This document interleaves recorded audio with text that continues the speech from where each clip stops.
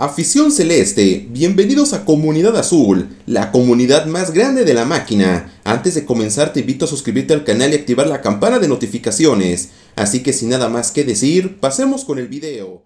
Pasemos con la información, pues la actualidad del equipo ha estado llena de malas decisiones y confusión sobre cómo está estructurado el organigrama, pues como ya lo ha confirmado distintos medios, todos en Cruz Azul quieren opinar y hasta periodistas y agentes expulsados del fútbol mexicano meten mano en el equipo.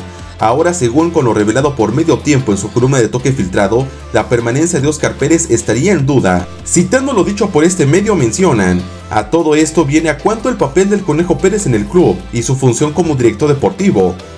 No dicen que haya quien plantea que en esos tiempos del Tuca faltó habilidad, para hacerlo entrar en razón sobre ciertas contrataciones, pero la falta de experiencia en el puesto no ayudó. ¿Brincará el conejo fuera del club?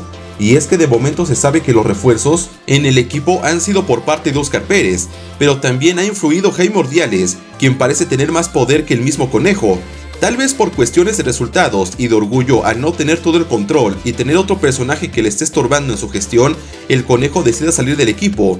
Y si se tiene un fracaso en el club, solo el tiempo dirá si el proyecto de Oscar Pérez seguirá al frente. ¿Saldrá del equipo rumbo a otros proyectos o seguirá siendo solo la imagen, mas no el que toma las decisiones?